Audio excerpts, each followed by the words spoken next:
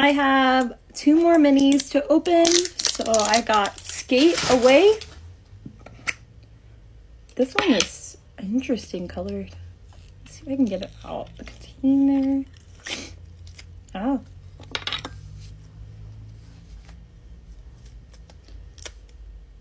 Interesting.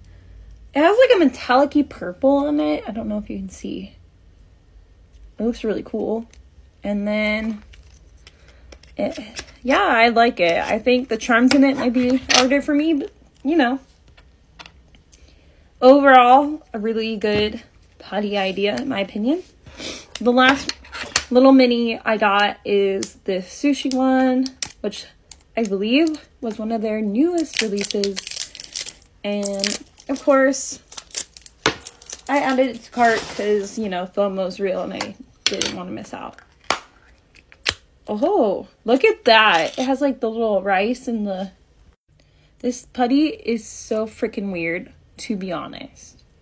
Like, I love it, but like, what is this rice? Okay, anyways, if you want it, you can get it from Crazy Aaron's.